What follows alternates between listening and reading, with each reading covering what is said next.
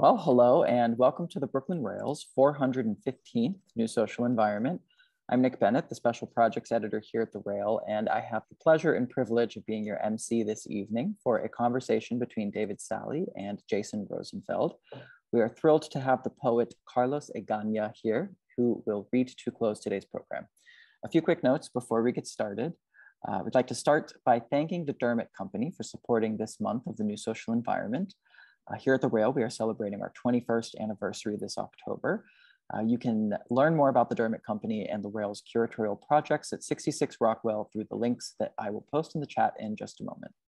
Here at the Rail, we open all of our events with two important acknowledgements. The first is that here in New York, we are on the Lenapehoking, the unceded land and waters of the Wappinger, Canarsie, Munsee, and Lenni Lenape people of the Delaware Nation and Shinnecock Indian Nation.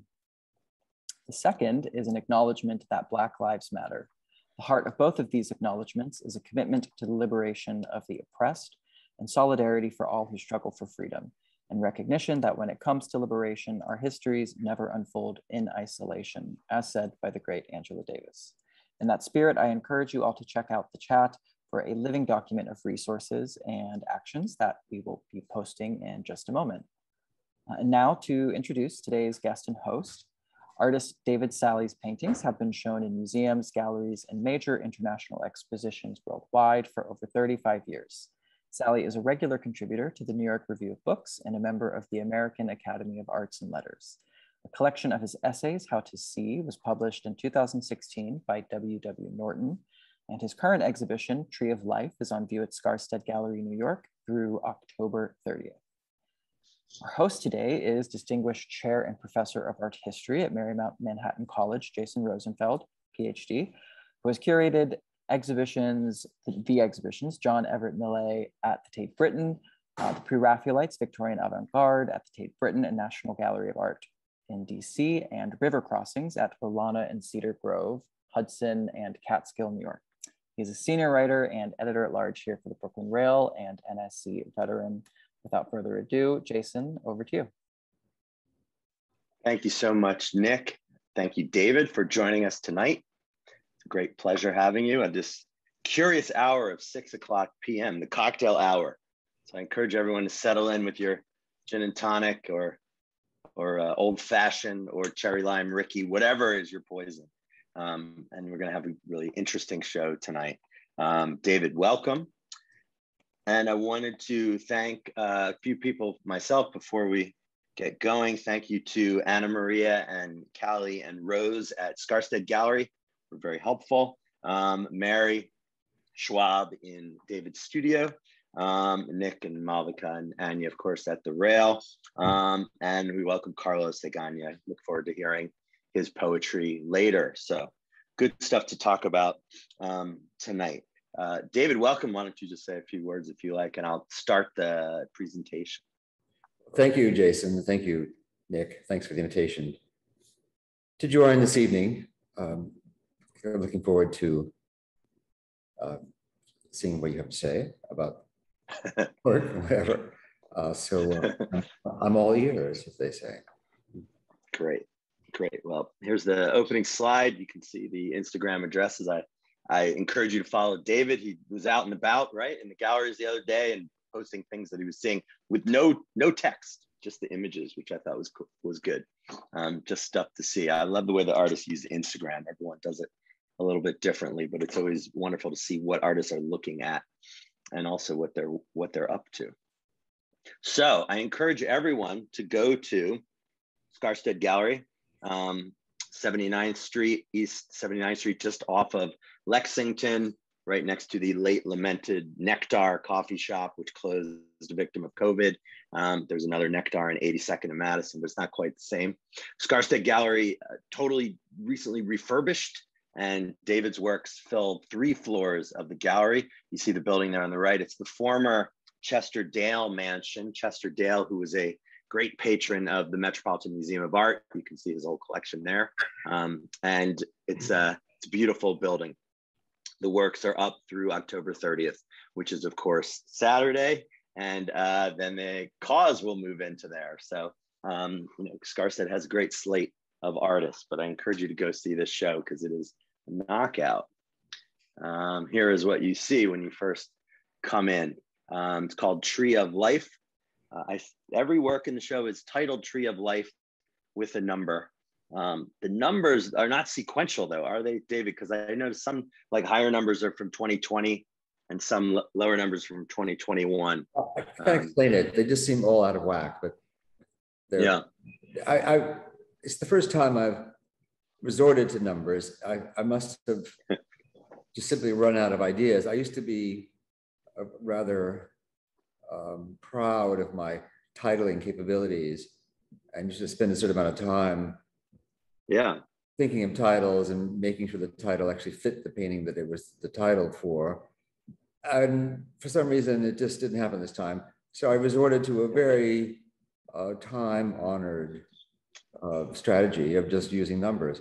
Somehow the numbers got all out of whack but anyway it kind of makes it interesting yes because the numbers back in the day would be sequential as to when you finished the work. Right. um, and then it would be or it would be untitled and then a number which i right. always thought was just curious. Just give it a number. But a tree of life at least is something which unifies we'll talk about that kind of represent uh, that that titling in a second. I'm sorry the cat has already joined me.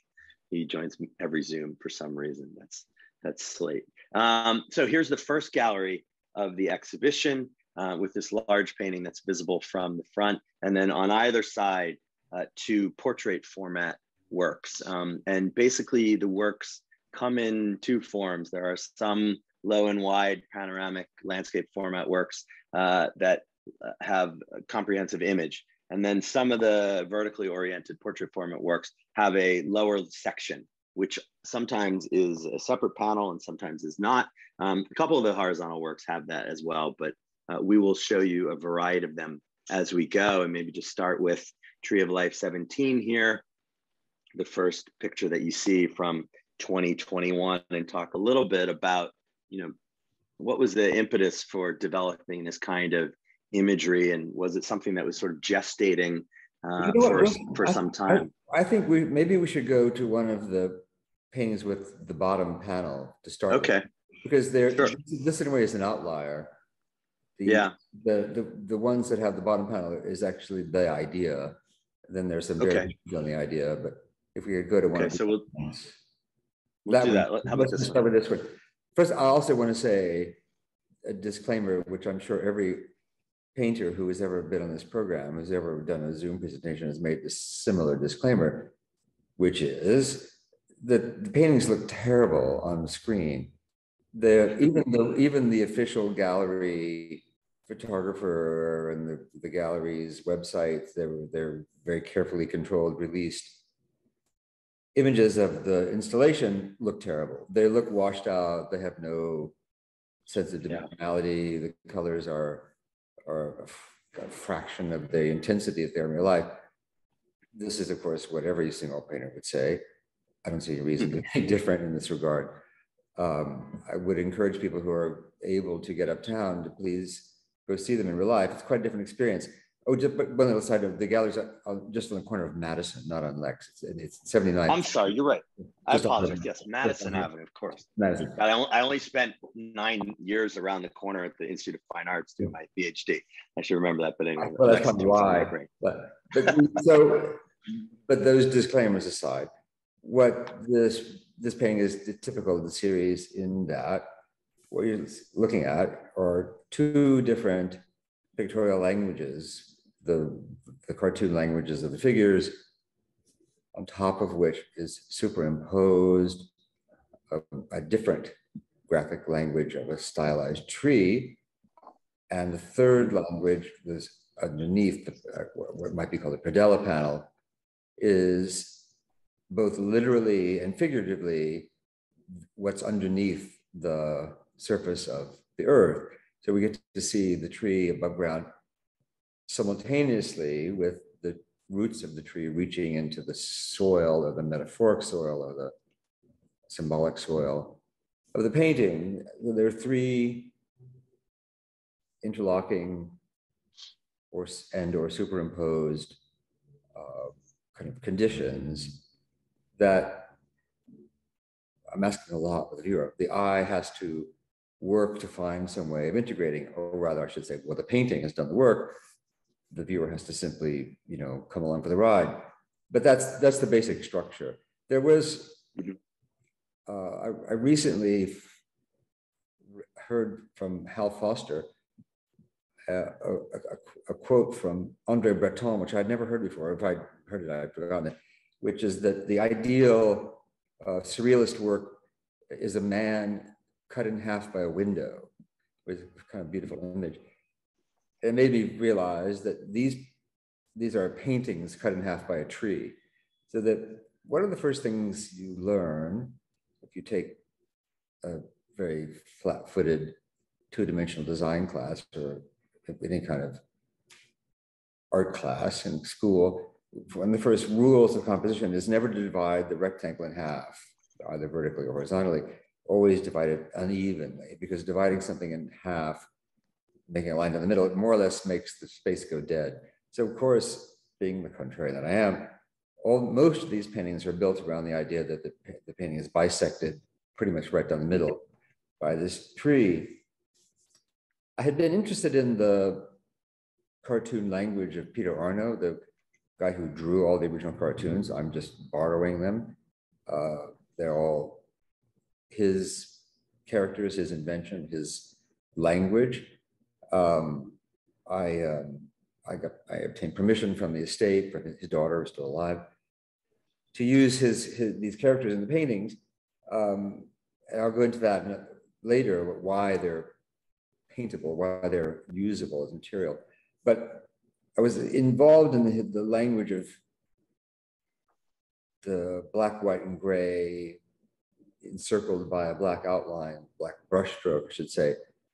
I've known for a while, and I don't even remember what the impetus was, but at a certain point, I superimposed this very stylized tree on top of the Arno figures, and as almost as if a, as almost as if on a dare. Like, I bet you can't do this, and it had some magical alchemical effect, had some kind of multiplier effect. The combination of the two pictorial languages was, was infinitely richer than either one on its own. That's how this series series got underway. Hmm. And as you look at these, uh, you can see the Arno uh, illustrations or the are always underneath the tree and the foliage and the material on the top. But I just want to point out that what you're seeing in this particular work, number 13, and I want to note that uh, through the presentation, I put titles for all the works, but oftentimes I left out the tree of life because of space so that images, woeful as they may be, can be big as possible. So keep in mind, everything's titled Tree of Life with a number here, Tree of Life number 13. But just to point out that the Arno image here of the nude woman seen from behind, and then the figure here with the door uh, doorman or the valet or something here on the left are from two different cartoons. These are kind of mashups. Sometimes they're comprehensive, David, right? Sometimes you yeah. you've sort of bifurcated them, bisected. Yeah, occasionally I've, with I've the taken, tree. I've taken the cast of characters as Arno created, but mostly yeah. I've, I've rearranged things sometimes yeah. considerably. And the tree is an interesting occlusive device. I mean, sometimes it covers faces, sometimes it, it points out things uh, on bodies. Uh, it seems to, you, you know, uh, oftentimes it envelops uh, the form. So they, they are speaking to each other. Um, and usually the tree is in the center, but we'll see there's a couple examples uh, like the one behind you in the studio where the trees are almost like framing devices right. on either on either side. And then there's figure forms in the middle. And then they integrate with this lower section, which you see um, there. The medium for most of these is uh, oil and acrylic on linen. And um, I was saying it was kind of an interesting uh, mashup also of media using acrylic, using oil. I tried to take, like here on the right, a couple details to sort of point that out, that fluidity of the acrylic, which seems to meld nicely with Arno's, um, you know, ink ink lines that he's yeah. using with a brush, and then the the more um, uh, meaty uh, use of the oil on the surface, which you can kind of see there on the right. That's this detail here. Mm of the picture. You're talking about, is this something that you've done before? Use the two uh, two paint mediums together? Often, it's not so much that I'm using them together. I use acrylic as a, a base layer, as a, the back, Mhm. let's call it the background or the, the sketch. The or, acrylic is kind of a map. It's a way of getting the image down quickly, getting it down with a minimum of fuss. Uh, There's very little, um, um, what to say, the very little one color dragged into another color, the kind of things that are part Right. of oil painting. It's, the edges are crisp, the, the surface is flat, it goes down quickly and allows me to see what, not what the painting is going to be ultimately, but gives me, allows me to see what the um, choreography uh, of the paint, the bones of the choreography, so to speak, are, are done acrylic. When that's, once that's done, I put it away and then come back to it. And then also, I mean, in almost every case, not in every case, almost every case, the acrylic figures were painted with the tree already described as a, you know, as a negative space. So, um, but once those things are, once it's mapped out and laid down, I put it away. When I come back to it, it's as if it's a found object. Then I'm responding to it as, even though I made it, so something that I found with the requisite detachment and um, uh, kind of curiosity about that. I, I don't have any reservations about fucking it up or, Right. or whatever happens to it. Right. It's all, it's all fair game at that point. And there's And that- does that really- there, there's no technical reason to break up the process. That way it's more psychological or procedural. There's something about the distance, the doing it first one way and then redoing another way affords me. I probably don't, I don't have to do it that way, but I got something that became a kind of procedural habit. I, I think there's, I think some subliminal thing is gained by it. There is some nice, this is like pure painter talk that might interest no one. There's some nice interplay between the flat acrylic grays and the brushy oil grays because they're the, the, the pigment works very differently um, in your eye. Uh, the, the acrylic is acrylic. Acrylic looks the way it does because it's chemically made a certain way, and oil is very, very different. So the intermingling of those things is kind of interesting, just optically, but probably most people didn't know it. Notice it. It's it, it's more like um, shorthand and longhand, or longhand Yeah. and you know, it's speaking and typing. Some there's some reciprocity between those two things. And the drying time is different. So, you know, if you say you putting down certain bits or, po- or portions, the oil will take longer to dry than. the Oh yeah, well, of course. I mean, there's there's I mean everything else about it's totally different. The way the edges, Yeah, the yeah, resolve, yeah. all that kind of stuff is different. It's that I mean I think of them as mostly as oil paintings for whatever it's worth, Mhm, with mhm. with some you know acrylic bits showing through here and there. What about the underdrawing? So I'm showing you the detail here of the, the leaves at the top right, and you can see some drawing in this section here. Um, did you, do you project images? Are you just doing it freehand? No, there's all the, all, all the all the platforms. Most of the platforms that are drawn freehand. Some of them are actually drawn from life, things from the garden, or they're maybe I've made a mm-hmm. sketch even in situ from the garden, and then I'm looking at the sketch and drawing it on the on the canvas with charcoal. I- This is a temperamental, hmm. more of a kind of a disposition. I try to approach the painting, even though the in this particular series the paintings have follow a template and they'll have great similarity one to another. However, at the same Yeah. time, I try to approach it in a non-programmatic way. So, Right. I, and it's can be, can be expressed in very simple terms. Sometimes it almost sounds so trivial. Why would you even care? But for example, I didn't want to make every platform filled in. Some of them are outlined and filled in the way a cartoon would be. Some of them are drawn more naturalistically, the way let's quote unquote a real artist would draw them. And some of them are drawn, and like painted. some of them are drawn and painted the way, let's say, Picasso would have done it. And they're, Yeah.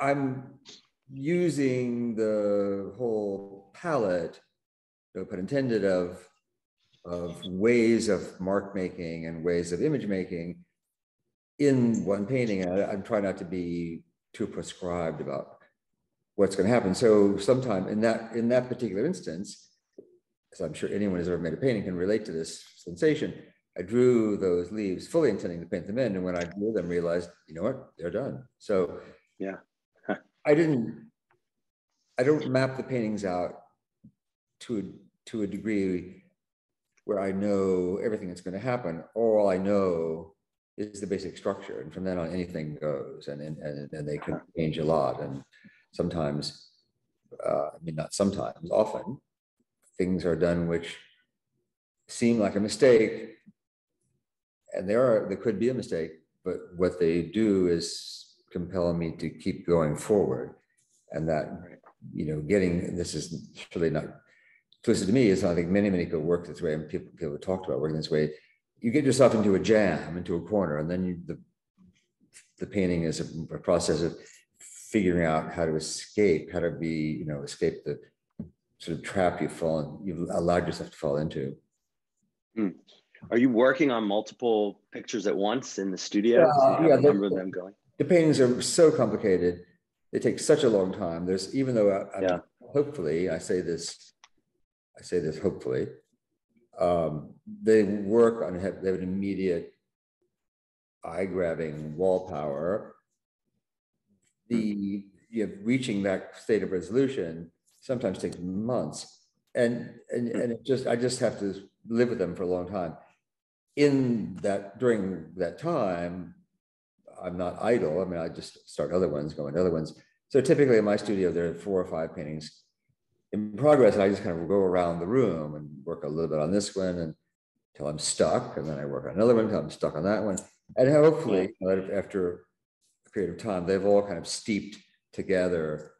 And it's sort of like making dinner. If, you, if you're trying to making a multi-course dinner, trying to make everything come out you know, to put on, get everything on the table at the same time. It's, it takes a lot of right. right. So we'll talk a little bit about the imagery in a bit, but there's oftentimes a kind of uh, disconnect between the two sides, the figures. There's a lot of uh, gender uh, issues that come up in some of these images, and uh, there was a lot of that in Arno's work anyway. Um, Peter Arno is an interesting character. There's a big article about him by Ben Schwartz in Vanity Fair from 2016 called The Double Life of Peter Arno. He was quite a character, um, lived a very flamboyant life, uh, coming from a world privilege and, and higher education, um, and designing for the New Yorker for, for ages and ages. The one on the left here reads, gee, Mr. Payson, mere words can't express my appreciation, I guess. And here the, the lamp is the thing that bifurcates the composition and shows, you know, a, a, there's wonderful formal qualities in his cartooning, um, which shows you this sort of disconnect. And then he did a number of works which uh, paid attention to the art world in the city at the time. And here is one from 1961. His spatter is masterful, but his dribbles lack conviction the mm. critic getting it in there and these are people who are looking at some kind of pseudo Pollock's. Um, so the Arno stuff is great fodder um, for uh, thinking about sexual politics and culture in the period with this uh, incredibly um, genteel white world that he sort of lived in at the time and was and was kind of documenting. Um, is this is this something that sort of intrigued you for a long time? These cartoons in particular? I, not really. I have to say, First, I yeah, I, I try not to know. I do know a fair amount about Peter Arno at this point, and he and he certainly was an interesting character. But I tried not to know too much about him or be too interested in him for myself. I mean, I could be yeah. him. I, I, mean, for myself as a painter, as a as a private citizen, I could find him very interesting. I don't want to mm. carry a lot of that with me into the studio. Personally, I I don't his cartoons aren't funny. I mean, I think they're better without the captions, and the captions never, right. never very good. They're it's it's the New Yorker sensibility, but from a much much earlier time. He lived until the '60s, but Arno was one of the very first people associated with the magazine, going back to the late 20s. Yeah, this is this is you know ancient history for most of us. Right. Um, the reason that I was initially attracted to Arno, without even realizing who had made the image wasn't, it, it was, it was some detail in a painting that preceded this current series by several years. I simply saw, I do a lot of research in design annual 1936 kind of thing. I think I have probably spent more time looking at graphic design, presentational. I'm interested in the language of presentation and in mm-hmm. all its manifestations. And it, in my opinion, it reached a high point of inventiveness, of, of visual wit, of, of real sophisticated visual communication. Not so much in art, but in commercial art and illustration and graphic design and so forth from the 19, 1920s is when it starts. When basically the 20s is the invention of the popular popular press and the invention, basically celebrity is, is, is an invention of the 1920s. But it really gets underway in the 30s, and by the 40s, it's in, it's just cooking. And then by the, and then pretty much by the 60s, it's done. And then, excuse me, but illustration for many years, for decades, was king. I mean, an illustrator could could really be a star and make a lot of money and have a real following. I mean, you all you all will recall that Andy Warhol started life as an illustrator. Mm. Photography killed illustration, obviously, but by the, by the mid 60s, illustration was dead. Why? Photography became ubiquitous. But for those decades, from the 20s to the early 60s, illustration was a kind of it was it was like the internet. It was the it was the way people connected with the culture um, yeah. in, a, in, a, in, a, way of participating in the culture. So Arno was one of the inventors of this um, kind of sophistication. So I, w- when I saw something in a design annual, an image of a, of a couple sit, sitting there, and I, I thought, oh, I can, I think I can use that. The reason I thought I could use that was nothing to do with Arno, nothing to do with gender politics, but because he, he was a very sophisticated graphic artist, he understood how to divide the image into black, white, and gray, different, different tones of gray. And the black outline is not just a black outline, it's a brushstroke. It's a brushstroke with character. I remember my art teacher when I was 10 always used to say, don't forget, a, a line is also a shape. I had to think about that. I thought about that for decades. Every line is also, is also a shape. I mean, you can say it to people all you want to, but only very few people actually can practice it. Arno was one of those hmm. people. I don't even know where he got it. I don't think he ever had, I don't think he was formally trained. He just kind of had, was a genius. So every line is of shape and every figure is uh, really a, a, beautifully orchestrated um, interplay of, of lights and darks. Those are the hmm. things that can be painted.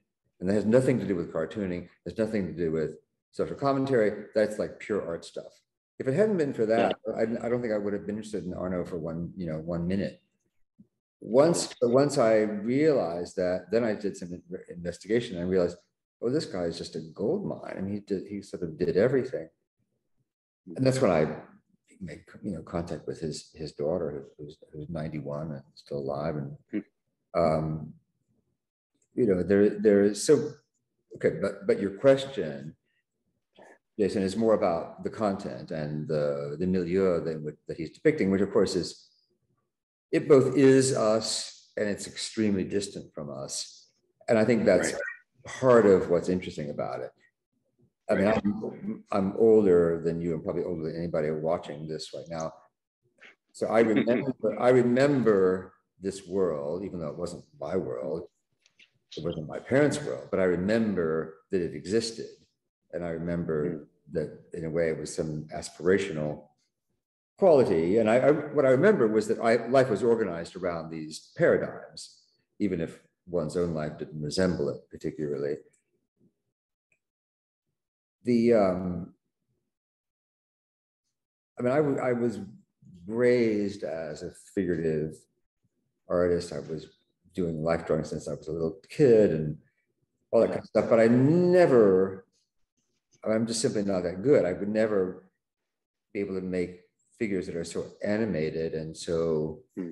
um, uh, interactive on the conversational level as as Arno's figures. I mean, they're always their mouths are always open. Someone's mouths are always open in Arno cartoons. They're always Yeah. Someone's you can hear the, you know, someone's always got an opinion. Or someone's always saying the wrong thing. Someone's always taking umbrage. So that just gave me a lot of stuff to work with that I probably would not be able to, you know, arrive at any other way. The I think it's I think sorry, it's really interesting. Go ahead. Finish I was gonna say, the, the gender politics that I thought were interesting, partly because two things which seemingly are contradictory, but I think they're true simultaneously. Partly because no one behaves like this anymore, and partly because people still behave like this, and it's Right. that different. What is what's interesting about Arno, among other things, is that the the men are almost always the butt of the joke. I mean, the, in, in almost every case, the man is clueless. Yeah. Says the wrong thing, does the wrong thing, makes the wrong conclusion, and it is not terribly different from, although you know, not quite the same level, but not not terribly different from, say, the kinds of male-female dynamics that you find in a in Renaissance drama, find in Shakespeare comedy. These are these are very very minute vignettes that could be Mhm. in the world of the comedy of mistaken identity and the comedy of of you know self misrepresentation and you know, who do you think I am and why, or why don't you think I'm this other thing? Uh, people It's trying to interesting to think about it, like in within the context of the readership of the New Yorker and who was looking at these things, which is, you know, there are a lot of women working there, but I, probably readership was largely male. Um, and also the way that it relates I don't to, about that. I think, I think, Yeah. I don't know the demographics of it. It'd be interesting to know. yeah, I, we have to, we have to look that up. I have a feeling it was very, um, you know, everybody read it. I don't think it was, I Yeah, don't think it interesting. uh, You know, it wasn't what I'm talking They about. also, yeah, they also remind me of like French cartoons from the 19th century that lampooned the salons, where you had people, men and women, looking at works in the salon, Manet's work, and commenting on them, and it totally comes out Well, of this, that, well, this was, yeah, tradition. this is a trope of, of the sophisticated modern life. There, there is, Yeah. the artist is a, uh, uh, artist is a character of fun. Artist is a Right. a character of sport. And that's, that's a wonderful, especially if you're an artist, it's a wonderful trope to be able to play with that. Hmm. um, Yeah, yeah, of course, the artist is misunderstood and in some way ridiculed, in some way, you know, the pretensions are are, are, are poked through. And I think, I, I- I mean, that, you know, who who does who's not who doesn't like that? That's, I think it's kind of very winning. Um, the- the- self-deprecating, yeah, take a little bit, but of, also, take a little bit of the air out of it. Yeah. yeah, but also, I, I also really interested by your comment about how illustration falls off the cliff in the 1960s. Um, but it feels like to me, and this is a conversation for another time, it moves somewhere else um, because cartooning goes into comics. Comic books at the, in the 1960s become the new medium, really, and uh, we're still living it with it today. The Marvel universe, the DC Yeah, universe, it all but- comes out of that sort of but is- transition. Really interesting But this is a very good and a very different audience. That's a very good point, Jason. I, I think that, I mean, apart from a few isolated figures like, like R. Crumb, obviously, and probably a few others, I'm not, I'm not Hmm. a comic book person. I'm not a, Hmm. I'm not a aficionado of comics in the least. I never have been, not Yeah. even when I was a little kid. Um, but it seems to me that the world of illustration and, and the world of comics are very different in tone, intention, Mm. uh, level of artistic sophistication. Um, you know, there's some overlap, things in common. They're both done with pen and ink. But the problem with comics, in my opinion, is that the there's never any interesting distortion. Even the monsters are totally realistic. You know, if you, I, I, had- I because of Arno, I've been buying all these books about on, on, how to draw cartoons, especially the the um, you know the, the very contemporary ones, the action figures and whatnot. The emphasis is on um, you know very convincing, realistic, quote unquote, mm. representation of of uh, stuff, and um, it's very very boring. It's very, I mean, as art, it's very boring. There's no there's nothing even remote, remotely approaching the, you know, the level of distortion, that I might say, in a, in a, in, the, in a Picasso sketchbook. I mean, it's like they never heard of Picasso. So it's, it's it really, I mean, I know, I know I'm speaking of heresy here, I don't know. I don't know. The Jack Kirby fans out there might might. Uh, yeah, but Jack Kirby is Jack Kirby is the great case in point. Jack Kirby is a hundred and ten percent classical artist. He would yeah. not be able yeah. to make a distorted figure if he put a gun to his head. Uh, I mean, Milt, Milt Caniff was a wonderful artist. Jack Kirby is wonderful. Yeah. There are many, many wonderful artists, but they were hundred percent academic traditionalists and, and right. we're completely unacquainted with modernism. It's very, it's also yeah. a complete bifurcation in a way. Yeah, they tamp it all down. Let's talk about the theme Tree of Life quickly and then get to some more of the works. Um, you know, Tree of Life, I, I, put up a couple images here. On the right, uh, it just reminded me of my childhood in Trenton, New Jersey, um, in a Jewish community there Adath Israel. And my grandfather, who sort of took care of everything at the, uh, at the shul, um, was tasked with making a big tree of life design for mm. the atrium of the synagogue. And I remember going to Lambertville, New Jersey, to the founders to get all the material that they were making this great bronze tree. And yeah. then there were the leaves, which had which had the names of individuals, people who had died, donations, etc. You know, remembrances, and that sort of dominated the whole lobby of the synagogue. And now that Adath, like every other synagogue in downtown Trenton, has moved to the suburbs there in Lawrence Israel now, but also made me think of I don't know if this had any impact on you. The depth in these works is significant. The horror of the Tree of Life uh, synagogue shooting in October of 2018 in Pittsburgh, when uh, 12, 13 people were killed and two were injured, and four police were injured at anti Semitism in the age of Trump, um, which continues today. And you know that that theme of the, the, the sort of mythical dimension of uh, mm. this term or this phrase is is very strong in Judaism, and of course elsewhere in uh, Yggdrasil, Norse Tree of Life, um, and you know obviously the Garden of Eden in Judeo-Christian Muslim cultures. Yeah, I, I mean, I certainly wasn't thinking about any current events aspect, and I certainly wasn't thinking about any any um, thing connected with Judaism per se. I think mm-hmm. it's, I think it's fairly universal symbol. I, I, can't swear that every religion has a version of it, but I certainly wouldn't be surprised. I, if anything, I was thinking about something I probably saw a long, long time ago from Shaker culture. I think, mm-hmm. I think, I think it plays a big role in Shaker iconography. Beyond that, I can't really say too much. I don't have any great story to tell about the the you know intense desire to connect with this ancient symbol. I mean, I'm I'm aware that it's a, very attracted to the idea that it's a it's a symbol that goes very very very far back and keeps showing up in lots of different guises. Um, yeah, Tom Tom McGlynn in the in the chat mentions Terrence Malick's wonderfully poetic film Tree of Life yeah. That sort of I mean, idea that yeah, I mean, Tree of Life, the film is one of the, I think, one of the few, certainly in our era, one of the few truly religious films mm-hmm. That is also a great film. It's also a masterpiece. Yeah. Um, yeah. It's an incredible film, and I'm, I'm, I'm sure I had uh, Malick's title in the back of my head when I used when I took it, but it's not. But it obviously predates Terrence Malick, you know, by eons. Yeah. So, yeah. I mean, it, it's, it, it, I mean, it literally came from a magazine assignment. I was trying to think of a context in which to present Scarlett Johansson, weirdly enough.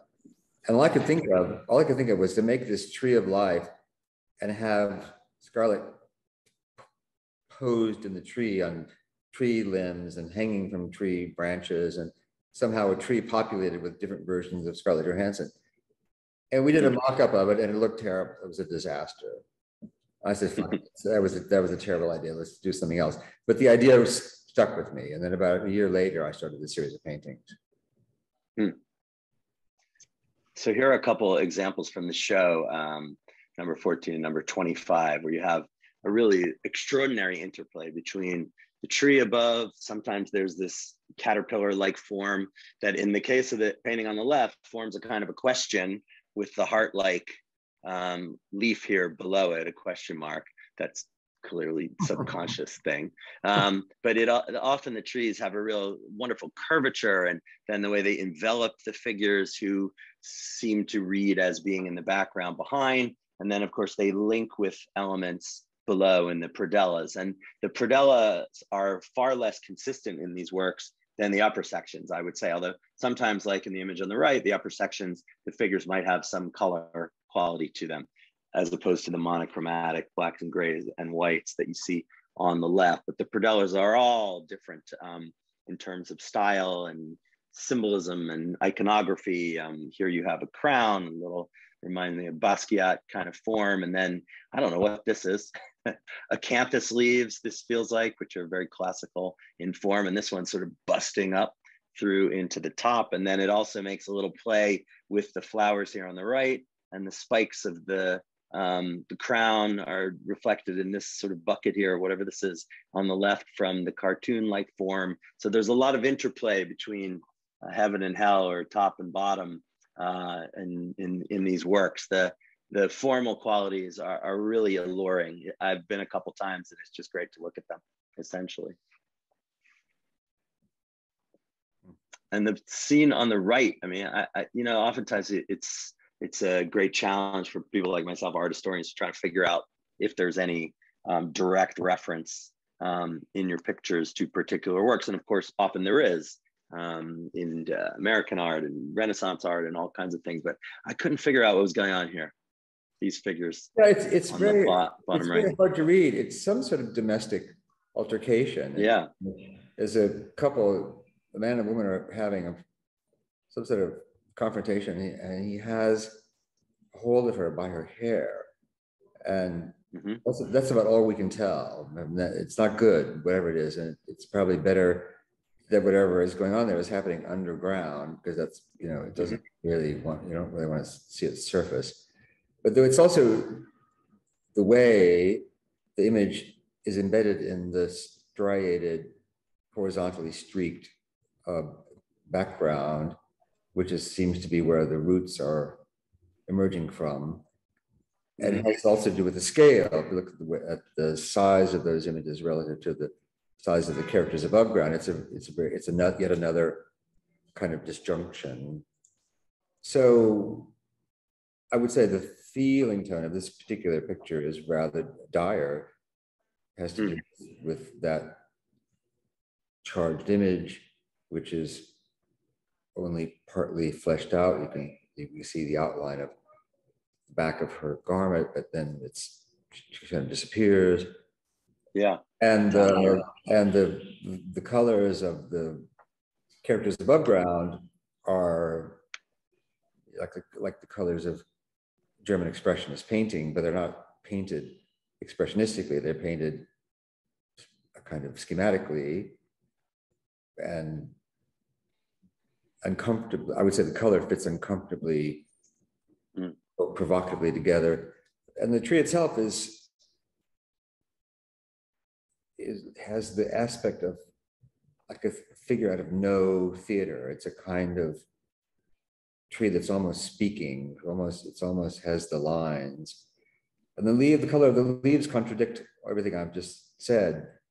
So there, there's a sweetness and a they're, the, they're like the colors of macaroons from Ladurée and the, the expression on the woman's face, again, is a kind of incomprehension. She's frightened. Well, she also seems frightened. There's the, there's the, the threat of violence. I guess. I mean, you could. I'm, I'm not sure, but I agree with that, Jason. I think there's I mean, of course, you can read into it as you wish, but I think yeah, more a feeling of what, what, what's going on? We don't, and we don't know what the connection is between the guy on the left and the woman on the right. Is there any connection? Yeah. Maybe she's not not seeing him. She just happens to be in the same painting. We don't know who. We don't really Yeah. know who see what. So there is a sense of premonition. There's a gravitas to the mm-hmm. whole. The literally the gravity of the painting moving down through space. Mm-hmm. The the undulation of the tree as if the through the hips of a dancer, let's say even a, I would say, say like a Cambodian classical dancer, um, all which are in contrapposto tree. It's a tree in contrapposto. in contrapposto that and yet, and yet the painting, even though we're talking about all this different stuff, it's rather limited. The means, the ingredients of the painting are, are not many. It's a it's a it's a rather you know simple bouillabaisse. It's not one of it's not a magnum opus. Um, Yeah. I'm, I'm rather fond of this picture. I kind of I kind of I think it kind of works. There's the Yeah. streakiness of the blue as it moves through that that is Yeah. both related to and but moving the opposite direction from the streakiness down below. There, it's kind of a an object lesson in how I look at paintings, not just that I've made it, but uh, uh, how I like to look at paintings. I like paintings that that move my eye continually and unexpectedly through the painting in different directions at different velocities. There's also a sense of velocity and, and time in the painting. A rest, both the rested time in the, the scene of the domestic altercation and then continuous time, continuous viewing time. And the way that the way the two things link together to me is a is, is a great interest. Does that make any sense? Yeah. It, does, it totally does. And it works very well in this picture because you, you know, you have your sort of vertical flow of the tree and then the solidity of the characters above and then the horizontal streams at the bottom, but it all become gels together. Just to tell people the idea of a predella, if those, those of you out there who are not so familiar with this uh, antique technique in the history of art, just an example.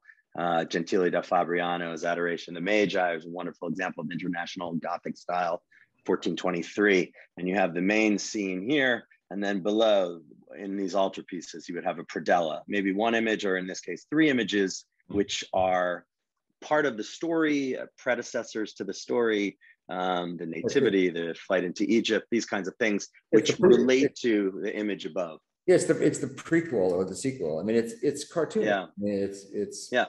totally what it is. Yeah.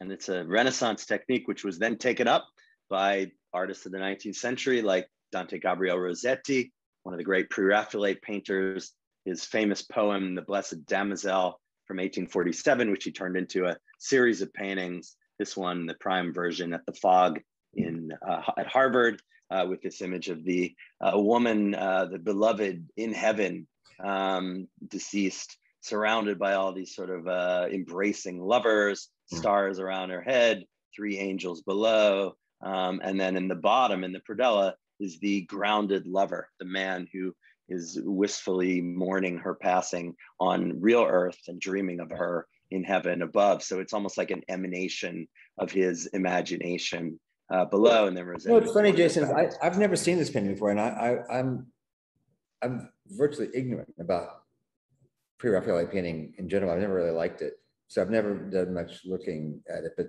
I mean, this thing is the the, the um, composition and the diagrammatic quality of it is is is amazingly related to what I've been doing, and I've never seen it before. yeah yeah well i'm not as huge a fan of rossetti but he nailed it with this one Yeah. and uh, when he worked hard on something he could get it right and he was a- fantastic designer draftsman Hmm. um, uh, illustrations um, he was terrific at that the painting i don't think you'd necessarily like the surface if you saw it in person Yeah. um, but the design the design really works incredible. so here's another example of one of these Predellas, Tree of Life 19, uh, with this uh, extraordinary image of a ladder, which creeps up frequently in these works. And also should just to point out that the lower section is painted on cotton toweling, um, which as you explained last night, we're in the gallery, it's basically rags that are used to clean brushes in the studio that you then um, put onto the panel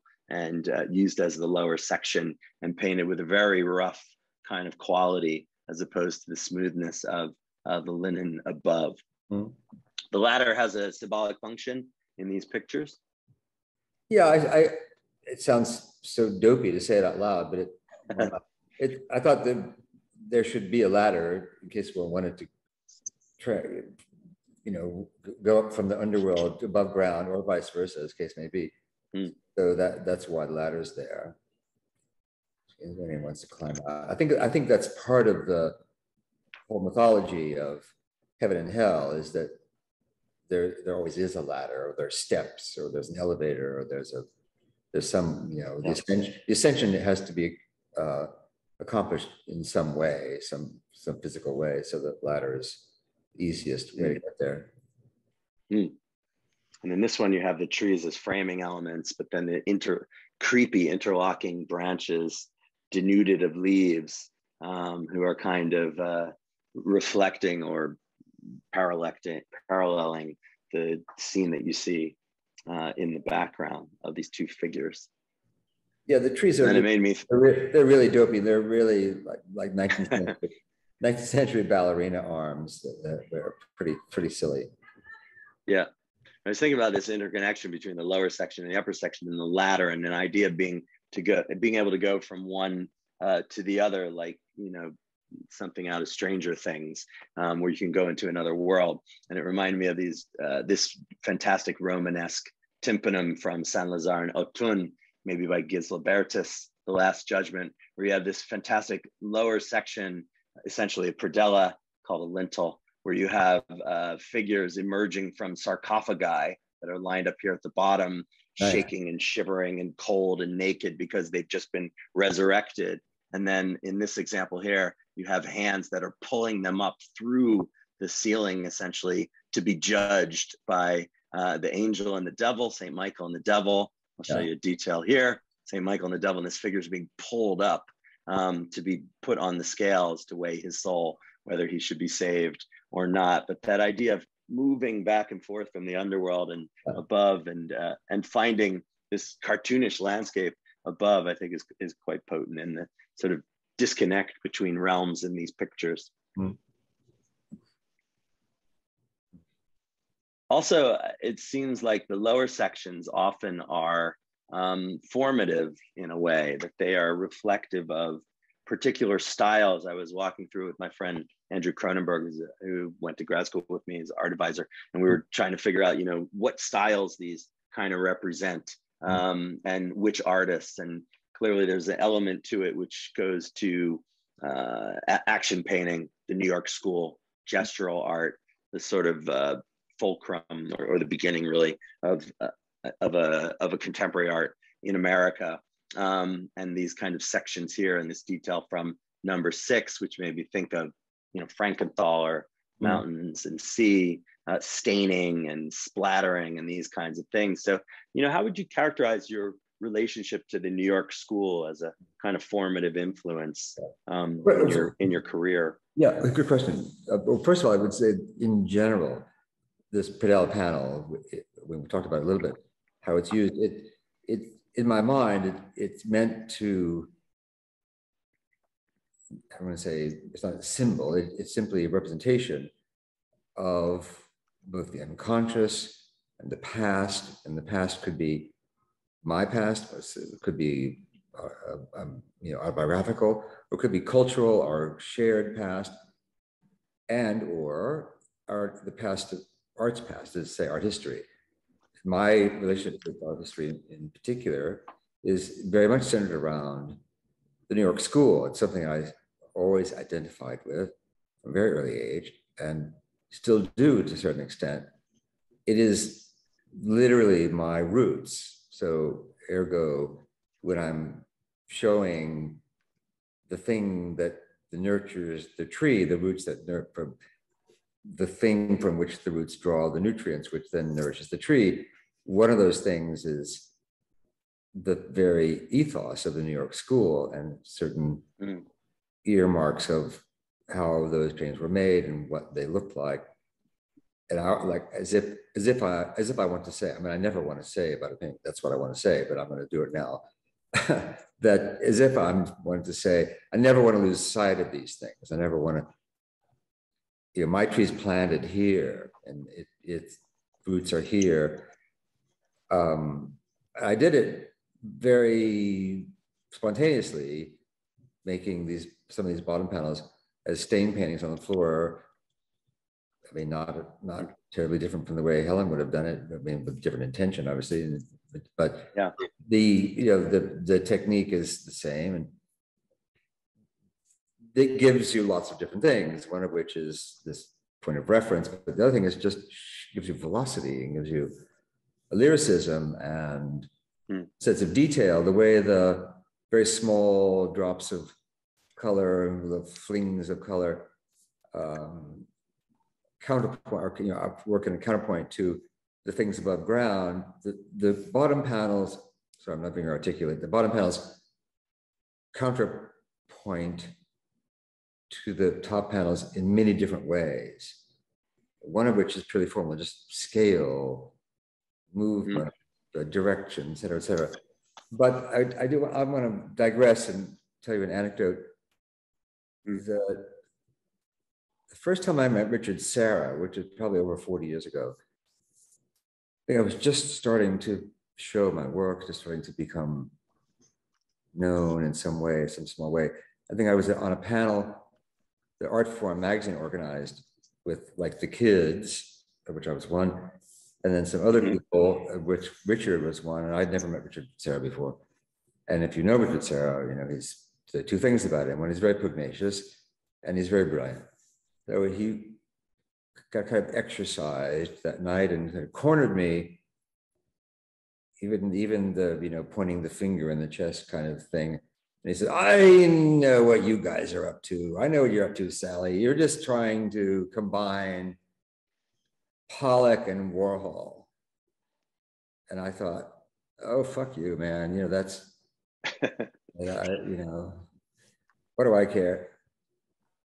the idea, well, there's two things to say. First is for many years, let's say decades, eons, artists thought in terms of that progression, in the sense of, you know, this artist, this camp represents this, and this camp represents the step after this, and then so on and so forth. So that you had to figure out where you stood in the lineage and the progression. No one really thinks like that mm. anymore, but that was a, that was what animated the conversation about art.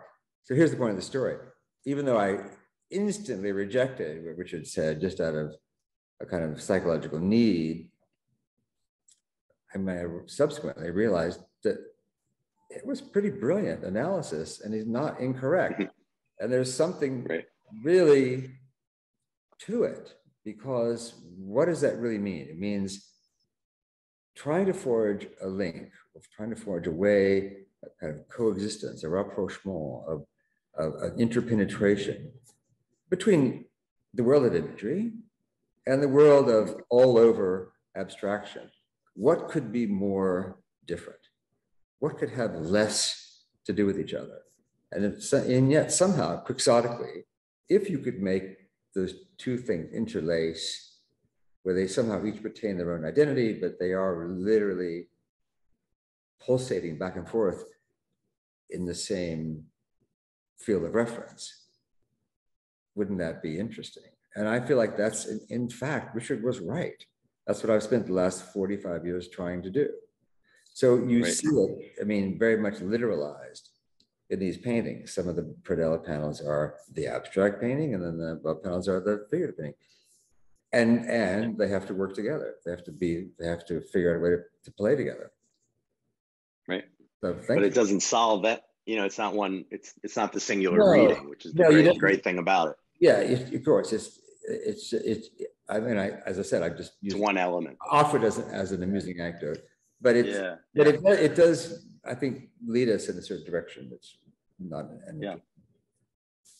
I think that these operate well in that sense, and um, you know they're very hard to pin down. There's a lot of detachment and collaging of elements, but they're also very readable in a way that you know a lot of your work is is less uh, visibly clear i guess you could say in that sense. Doesn't mean it's doesn't mean it's um, it's narratively clear. No that's why it's interesting because of the complexity. Um, but visually you can you can get it and the wonderful thing about these i think is uh, uh that they're not bifurcated you know like horizontally in the middle yeah. these you can see them as a whole you can see them as a totality yeah. straight away and then try to make sense of them and your eye moves around and finds colors like it does when you look at a Poussin. It, it operates in a similar way. And at the same time, you have these elements uh, like a, almost like a Rothko color field picture where you have you know these different segments which are geometric, uh, which are organized in a certain way. I mean that that's the subtleness subtleness of it. At the same time that it has this sort of brazen cartooning on the upper section. Um, we're so lo- used, I think, we're so used to looking at the abstract qualities of the lower section. Mm. The upper section looks more radical in a way, I think, right. you know, even in well, the context of your of. Right. Well, you know, there's this wonderful thing that um, that Fairfield Porter said a long time ago. Said that, that um, you should judge an abstract painting by its by its content, and you should judge a realist yeah. painting by its by its uh, you know by its form you know, by by its, uh, um, uh, you know, by its, uh, you know, in a purely, you know, abstract what kind of way. In the reverse of what most people would yeah. think of it. Yeah, I mean, I mean, anyway, thanks, Jason. I mean, that was a lovely analysis. So I'm gonna, I'll take it. Let me let me show a couple other things, and then I want to move to questions because I know people want some questions. Mm-hmm. The one thing I was thinking about in terms of trees, contemporary art, uh, systematic sort of ways of thinking about the past is, of course, Ad Reinhardt's mar- marvelous series of illustrations, one from 1946 and one from 1961. This is the earlier one, How to Look at Modern Art in America. If you haven't seen this before, you should because it's it's this idea uh, that MoMA took to heart. What is the origin of modern art? Cezanne, Seurat, Gauguin, Van Gogh, very literally these roots, which then go through modernism in Europe and then spread into this tree some of which is weighed down by tradition, uh, like illustration, still lifes, these kinds of things. But this yeah. sort of uh, fantastic designs that he did, these cartoons that he did, um, Reinhardt earlier in his career, and it, it, feels like you know that idea of finding your roots in the soil um, comes out so well in your pictures. And uh, just a, a, a triptych here. It's not actually a triptych, but three more of these images just to show people the breadth of uh, design that's going on um, in these in these paintings and obviously you can see all of these in the galleries and again these interactions between the sexes um, in these uh, male female at least uh, interactions here and the tree as a you know more and more uh, comment of a commentator in a way the tree acts like a kind of chorus in a sense i think in some of these pictures in separating these two and reacting to what is going on sort of behind it. And then of course you have the predellas, which are, um, you know, curiouser and curiouser. Thanks. Yeah, the, I mean, in any narrative painting, there's the, the question from or from literature, which is on whose authority is this story being told? And, and, and you're right. I think it's a good observation, Jason. The, at a certain point, it's the tree in a way that is the narrator, the tree. It's it's the tree's version yeah. of the story that was that we're seeing. Yeah, it has that function. I see that more and more as I look at them more and more closely, and know, the colors are really wonderful. So I'm sorry my slides don't do them justice, but um, hopefully people can get there to see them. Uh, just to go back a little bit, because it would be pointless to go through your career because a a lot of people know it, and also it's so full and you've been painting uh, so interestingly for so long. I mean, the first time I came across your work was at Duke University in a class with Claude Czerniawski on contemporary art, and he hmm. showed Tennyson. That was in 1984. Uh-huh. Tennyson, um, and it blew my mind as a Anglophile who was about to work on Victorian art that someone in New York would be painting things that had some kind of even if very conceptual relation to Tennyson. But I was looking back through uh, the works which everyone can find on your website, and these pictures seem to be somewhat signaling what you're now doing now, what you're now doing. Um, this kind of interaction between uh, some kind of figurative, um, drawn cartoon figure, and then abstraction in this case above. So it looks like it's coming from her brain. And then here on the right, uh, while I'm gone from 2016, which has a kind of vegetative form uh, coming into this crush of all different images in right. the center. Uh, good homework. Yeah, you're right. That's what we do. Art historians. Matvey Levenstein calls me a digger.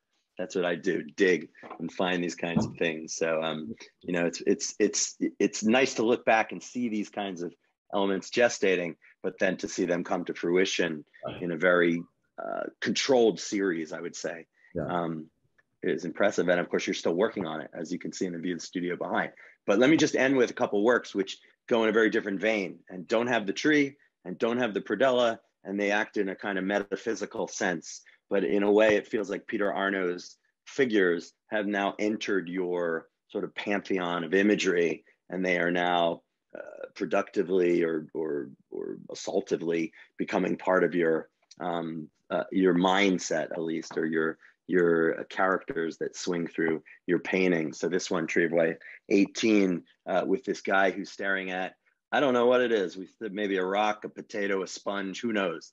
Um, with a kind of uh, floating clock and these other elements and this sort of metaphysical representation. It reminds me of de Chirico and, mm-hmm. and other artists. But are these some of the later ones that you've done? Yeah th- this one and there's a there's a one with a pink ground one with a blue ground those are the last three paintings to be finished.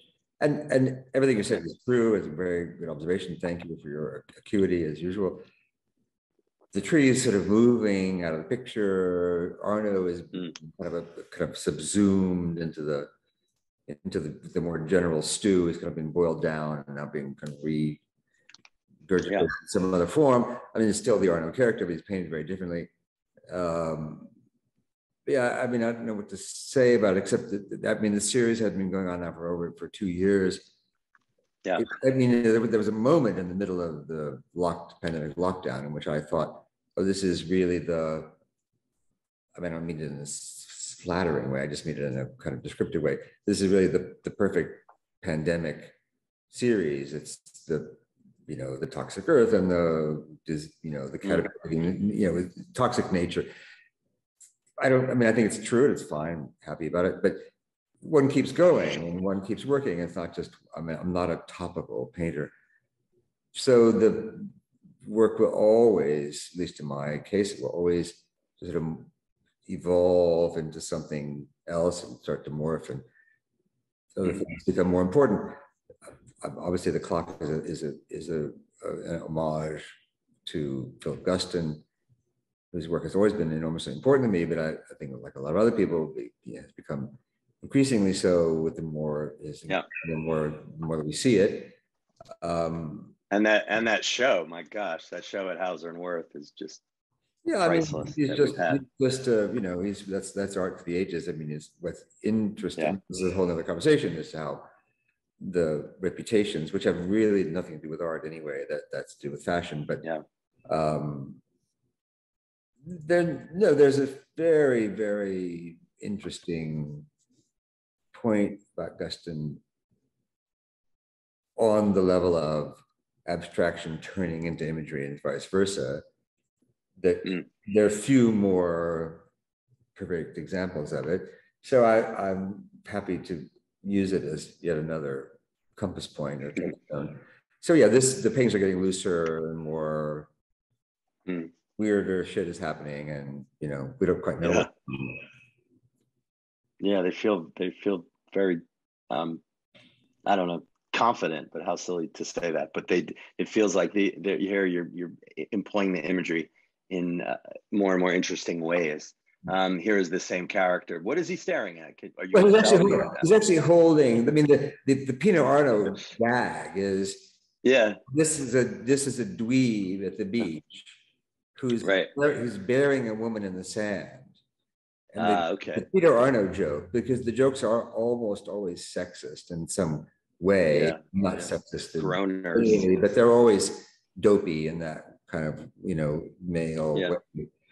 That he's burying her in the sand, and he's putting a lot of sand on her breasts. And the, in the uh, Arno cartoon, that's that's not the face in the Arno cartoon. In the Arno cartoon, it's this lady with a hat and she's saying, "That's enough sand, Mister McGillicuddy, whatever his name is."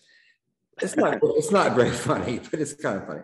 So he's but what's funny about him to me is just his cluelessness of his look and the dweebiness of the hat and whatnot. So yeah, he could. Other people thought it was a big potato. It's fine. I don't really care what he's holding. He's got something in his hand. I painted him in another painting where there's nothing in his hands. It's just the gesture. Right. It's kind of funnier because then you don't. Yeah, there Here he is. You say he now he's looking at what's missing. There, like there used to be something in there, but I don't know what it is now. Yeah. So yeah, these are the same cast of characters. There is, I mean, we haven't even talked about the kind of cinematic Mm. mm, sensibility. I think these these are the world of this is the world of screwball comedy, which is which is the same Yeah. period as Arno, say nineteen thirties. Preston Sturges. He's my favorite. Well, he, Someone mentioned him in the chat. Preston Sturges is probably the single greatest screenwriter ever to come out of Hollywood. So Uh, funny. Yeah. who's, who's you know Timeless. the, the sophistication of that dialogue is, is completely unequaled. Most of the Coen brothers movies, as, a, as an aside, are one way or another a re a restaging of Preston Sturges as they would to Yeah. But anyway, that aside, um, the, well, anyway, if you think they there's they speak a kind of confidence, I'm happy to hear it because I'm wading into the water of leaving the structure, not we're not leaving it behind, but Mm. very much de-emphasized. I'm putting these characters on stage and seeing how they interact. I do think of myself, I mean, I think of all different kinds of metaphors for painting, conductor or stage mm-hmm. manager. But I think, of, I mean, if I had to say, are- are, you know, about myself, do I see, see myself as an actor or as a director? I mean, clearly I'm a director, or maybe not even a director, maybe just a stage manager. I'm basically Choreographer or something. Well, I'm Yeah. giving these characters their cue, like, okay, you're on. Yeah. I'm, I'm Let just him go. I'm just the guy who raises the curtain and then I give them their cue and then, you know, then they have to go on. So I'm, you know, I've, I'm always been attracted to and have tried to incorporate into my work some sense of not just the theatrical, but actually the theater as a, as a living, breathing place and a metaphor for action. I mean, people used to talk about painting in the fifties as a, as a kind of arena for action. I, I think of it as an arena for theater, right? because theater is Yeah. that place. Well, I mean, now that the figuration that you've been working with since the beginning is now, you know, back in a sense. I mean, it's always the art that I've been interested in as a, as a, as an art historian and a critic. Um, and I know, you know, as part of the reason why there was resistance to probably your work in your early career was because of its figurative quality, its illusion, its emotionality, its surrealist qualities. You know, the kinds of things that now that's what artists are doing and, and disconnect you know at the same time it was all there in the beginning so maybe the the older critics it's caught up. They've caught up to you in a sense uh, in a way or the, or the world around you has caught up to you but, but I, I think that that cinematic element is is really critical in so many uh, young artists today figurative artists who are working in that way but also with narratival disconnect and sort of problem pictures um, where you have to, you know, there's no actual solution, but there are many different streams that you can take uh, with mm-hmm. it, and then using these characters in repertory, in a sense, has has been very productive. Yeah, I mean, And then these floating elements, floating elements like Duchamp, and also like the dream sequence of Dorothy and the Wizard of Oz, with all the stuff mm-hmm. flying by the house. I mean, so many things coming together here. Yeah, I mean, there are many, obviously many, many figurative painters working today, and some are excellent, and some have mm-hmm. incredible skill, incredible uh, chops as a, a- a- in their you know, figurative painting. But everyone's work is different. Um, I think what's interesting is, is to try to distinguish things in terms of tonality and Mm. uh, the sensibility of, of figurative painting and some what what is the like the emotional temperature. Uh, I think Yeah. the I'm repeating myself. I think that the world of screwball comedy. Not that I'm trying to make screwball comedies per se, but the world of that is um, it's like it's like turning up the volume, although it's not. We're not talking about sound. We're talking about something Mm, mm. else. Is a almost kind of franticness or an anticness more than frantic. Yeah. That is. It's just always been there in the work. I can't explain exactly why, or I can't even defend it. I'm not even sure I like it, but it's just there. Hmm. Yeah, people have always asked me, "How come you paint this? How come you paint that?" I, it, it's a, it's essentially a misconception, at least for me, in my in my Hmm. view, that I- I'm not so sure. I mean, what the question implies is that art's like a menu in a restaurant, and you and the artist picks one. I have one of those. I'll have one of those. One of those. It's not my experience. My experience has been it, it kind of picks me, and I'm feel fortunate if something picks me. If, I mean, let's say if something holds my attention for more than a minute, I'm, I'm very grateful.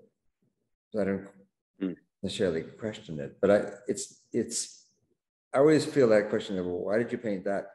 It's almost putting the question backwards. It's more like you paint it, and then maybe you figure out what it means, rather than the other way around. If that makes any sense. Yeah, I, I think it does. I mean, you, you just you you have the compulsion. You must do it, you know, and and and then you kind of figure it out as you go. I mean, that makes total sense. That's how we, in a way, how how I write. You know, in a way, you have the compulsion to do it. Yeah. to do it. Let's just note one thing before we turn over to questions: is that I was at uh, at the, the other hat that David wears. I was at the Lichtenstein show at the Parrish Art Museum last weekend, and I was delighted to see that one of the uh, one of the wall labels for one of the pictures quoted you Hmm. um, on Lichtenstein. Um, so that idea that you know you're operating in many different realms now, and uh, and in a kind of parallel way as a art critic. Um, just published a volume of your writings. Um, I was really struck by this terrific review of the Donald Judd Show, which was in the New York Review of Books in December 2020. People should look up David's writings. Um, they're they're terrific, and many artists that I talk to have been you know really complimentary of the things that you've been doing, and they wish they could write like you, and also with you know the the the attitude which you have to have as a serious critic. Everyone should read this extraordinary sort of um, uh, discussion, takedown, whatever you want to call it, of minimalism. Um, you know, the wonderful Judd Show, but seeing it from a different angle. Uh, people should have a look. Anyway, so kudos to you uh, for that. That's a discussion for another time, I think. Uh, in the meantime, people should go and, and enjoy the exhibition while you can through Saturday. I encourage you to get there to Skarstedt. And thank you so much for giving your time and uh, doing it this evening, David, um, and uh, deep appreciation. And uh, turn it over to Nick for a question. Th- Thanks very much, Jason. It was a pleasure. Thanks, thanks for everybody who tuned in. I also add in thank you so much, David, and thank you, Jason, for this wonderful conversation. Uh, we just posted in the chat the link to the exhibition. I do encourage everyone that is able to to go and see the show. It's on view until this Saturday, the 30th. Uh, but yeah, we're going to get right into our Q&A. So first, I'm going to pass the mic over to our friend, Andrew Woolbright. Andrew, you should be able to turn on your mic now. Hopefully.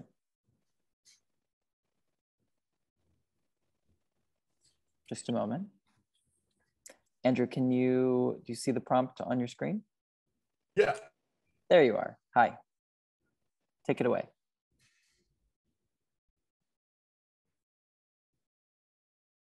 It's not working. Andrew, it's not Oh. working. Andrew, sorry, we're playing the, the Zoom game. There you So- are. Perfect. Uh, yeah, we're back and forth. Sorry. David and Jason, thank you both so much. This is the perfect way to spend an evening, and it's great to hear about the work more in depth.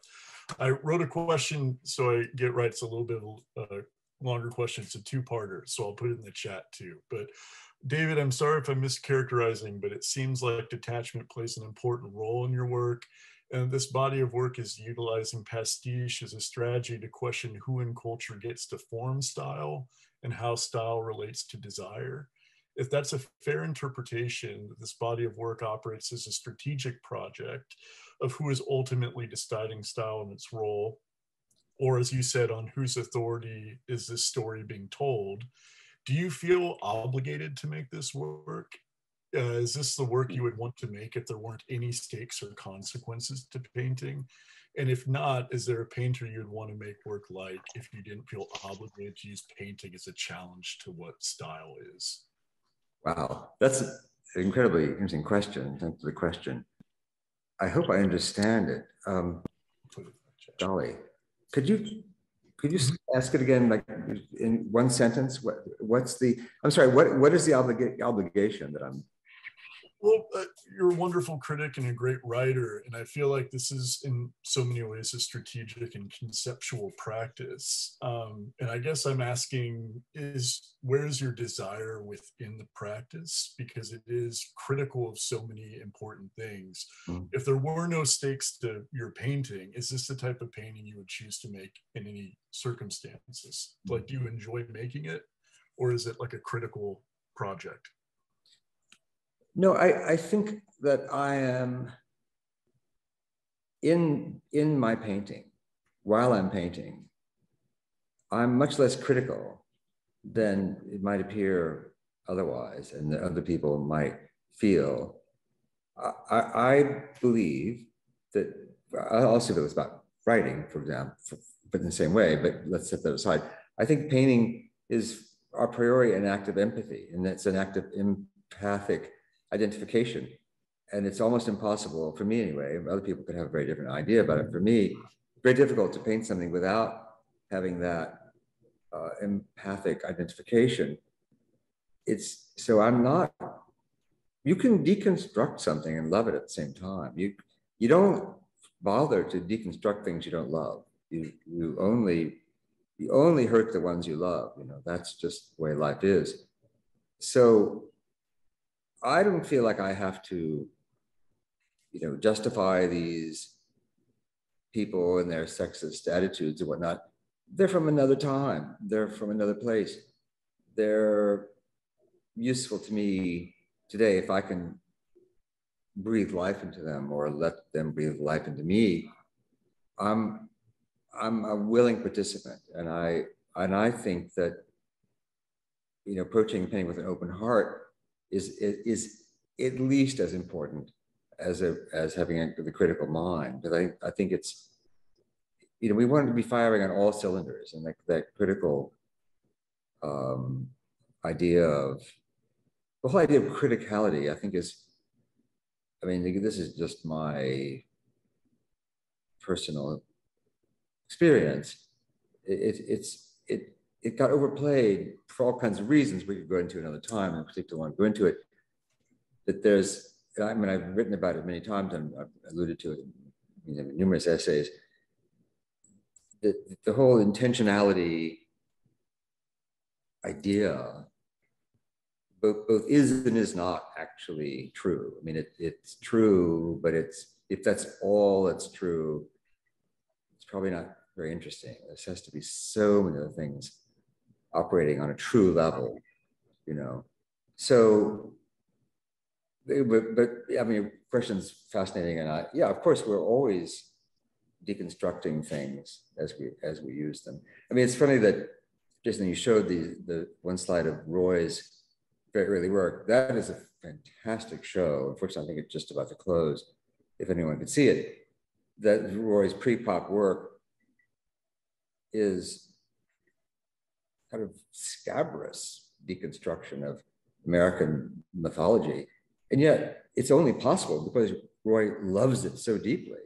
And he, he it's, I mean, Roy, who I knew fairly well, made officially made two or three paintings that he called self-portrait, self-portrait with mirror, self-portrait with cheese, maybe are two or three others but it was a joke because the, the, the, you know, the idea about his work is he was never to be seen in his work. You'd never find him in his work.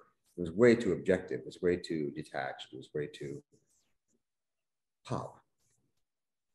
But the pre-pop work is full of self-portraits. It's one big self-portrait. Every character in the painting is Roy in a funny way. So what does that prove? I don't know, nothing. Just that the, you know, all these things coexist simultaneously. Thanks for the question. Does that make sense? Yeah, that was beautiful. Thank you. Yeah. Thank you both. Thank you, Andrew and David, for that answer. Um, Mm-hmm. next, I'm going to pass the mic over to my colleague, Malvika Jolly, to read a question on behalf of an audience member. Over to you, Malvika.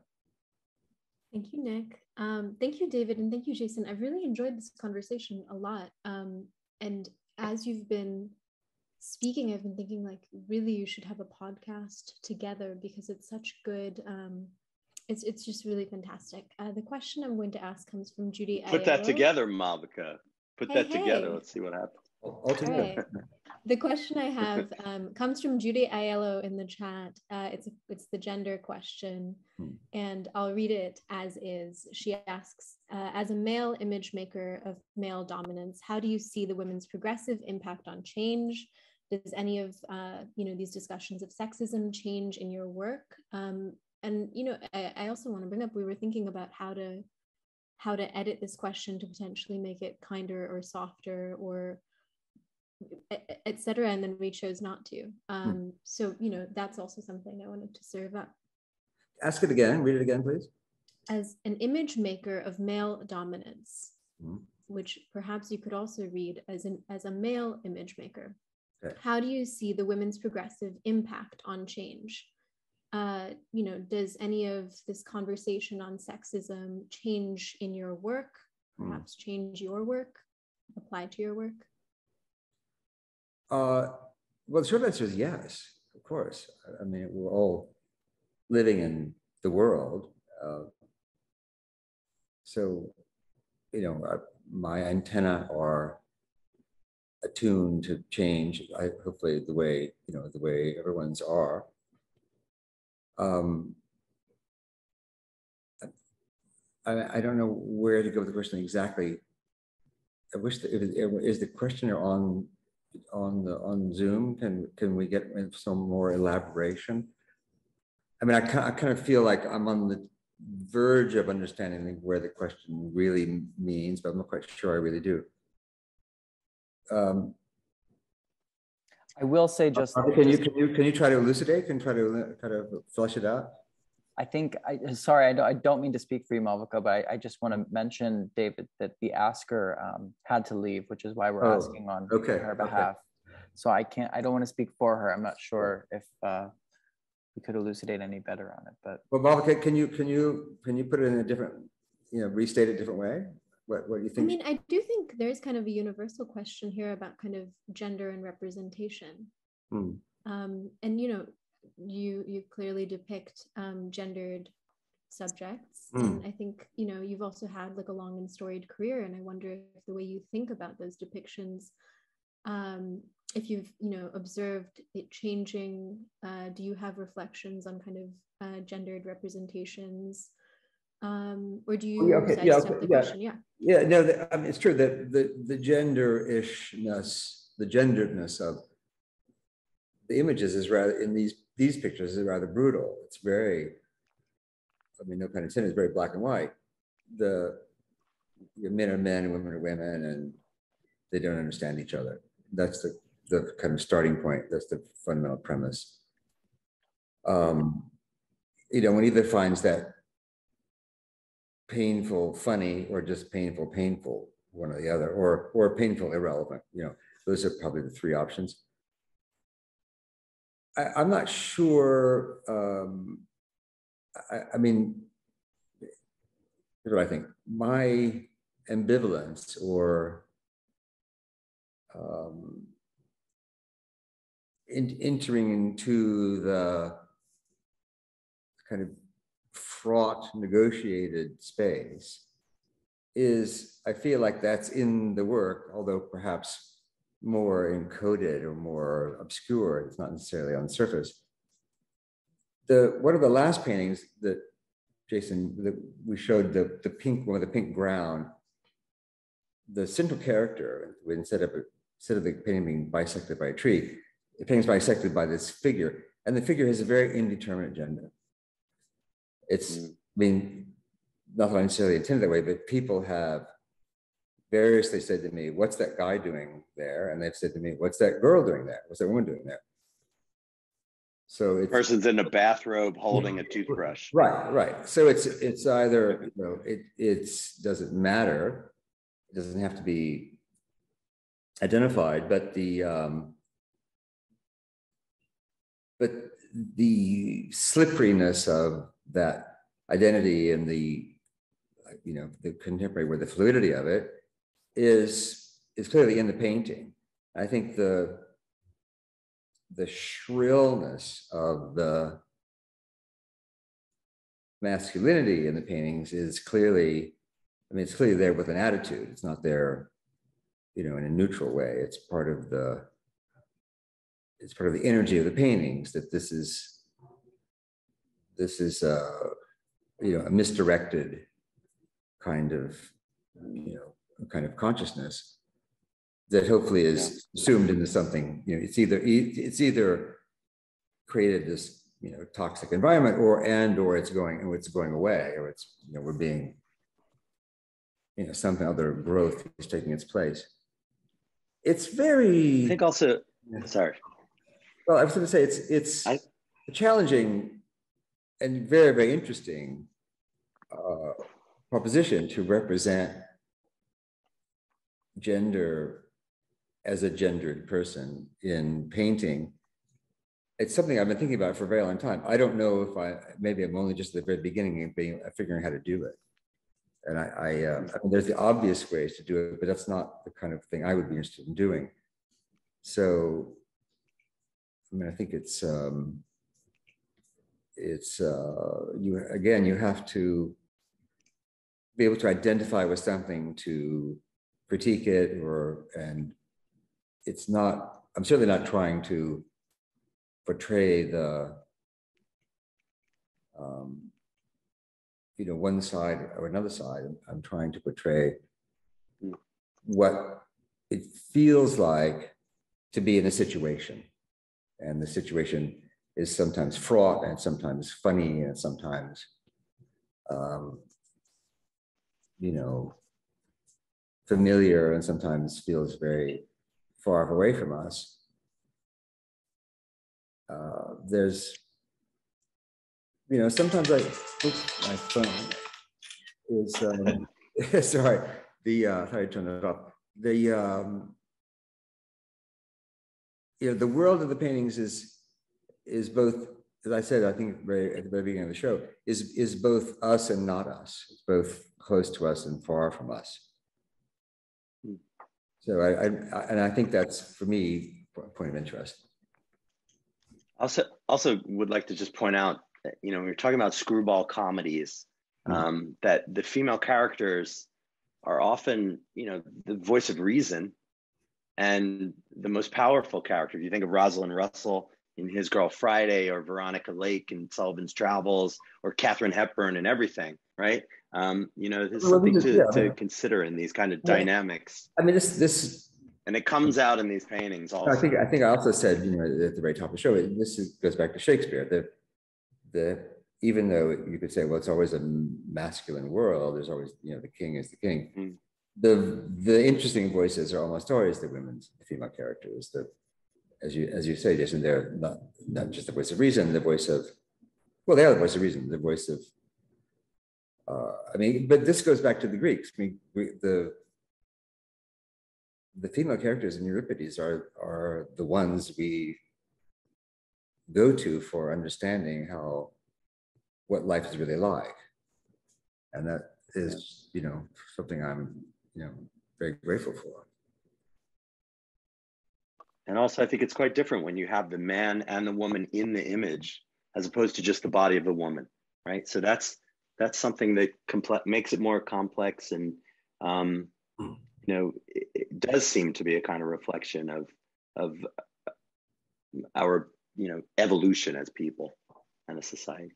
Yeah i mean it's, if it's more question i have to think more about it to really develop you know a fleshed out answer but but it's yeah that, that's the right direction i think well, I want to say thank you, thank you both for for working through that answer. And I really, really, really like what you said that it's sort of a misdirected consciousness is an attitude. It's like an atmosphere in the painting, and and, and I, I really like. I feel like that's a piece of an answer, perhaps. Um, but thank you. Thank, thank you all. Um, Any other questions? I, I think in the interest of time, we'll take one more question. Um, I am going to pass the mic over to dear friend of the rail, GE Schwartz. GE, you can turn on your mic now. Thank you so much to the rail, to Jason, and to David, of course. I first got hooked on your work because uh, I saw uh, Dean Martin in Some Came Running about 93. Hmm and and and and and and and, and I, I really more I, I'm as much of in, into to writing as I am into to taking in physical art. And immediately I flashed on John Ashbery and David Markson. Just the way it was put together and the way I felt, and and, because it it seemed to sort of follow kind of a a Hebbian theory thing of the way things are fired together and come together and cross associations and all that kind of thing and and and the way you as an artist make the connections with the images and the way we see them. Is there any connection with that all is there anything to this? I'm sorry connection between between what and what well no the, the basic idea of um of coming across and and and putting images together from disparate places and all this kind of thing in in, in and also is sort of the Hebbian theory thing of the way things are fired and right. they sort of come together paired and cross paired right. even though they're very disparate. Right. Yeah i i um i'm not a theoretical person. I'm a kind of an instinctual person it took me a long time, or actually a long time. It took me more than 10 minutes. It took me a while to appreciate John Ashbery's poetry. And once I did, I loved it. And I, when I think the reason it took me, I not like I resisted it, but anyway, I had to look at it for a while. And then, I mean, John and I later became very good friends, but, uh, because he was doing something that I was trying to do, and he was doing it, you know, brilliantly uh, making it seem as though it was just stuff rattling around in his head. But of course, on the page, it was absolutely perfect. It couldn't change one, you know, stress would ruin the part. It was so that feeling of tapping directly into the unconscious was so palpable and that he could sustain it for so long. Anyway, my one of the, my great regrets is that I didn't get to make an illustrated book with John. We talked about it for 25 years, and somehow I just never got around to it, and then it was too late, the way it always is. But I think that that particular painting you mentioned, Dean Martin Something Running, uh, it, for me, exemplifies what I was trying to describe earlier. That it's a painting made out of images, but it's it's the look and feel and painterly attack of the painting is much closer to an all-over abstraction. I mean, I mean, I'm not trying to flatter myself by the comparison, but it's it's really like a like a Pollock. It's just if you just look at it, turn it upside down, it it, it has the interwoven lyrical skeins of paint like a like a like an abstract painting, but it's all made from images. Like it's like I don't know, there's something really ridiculous about it in a way. It's like people who make something to resemble something else. You're like, why? Why don't you do it? But anyway, um, yeah. So I'm not. I'm not. I don't have any theory about the removal of hierarchy or proximity. It's it's all done instinctively.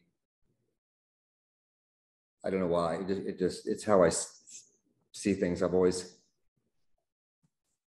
seen I could never really focus on one. I was that really not a good painter in art school because I could I couldn't focus on the painting. I kept seeing the painting and then what was behind the painting. And I kept trying to incorporate what was behind the painting and the painting. It ended up just being a mess.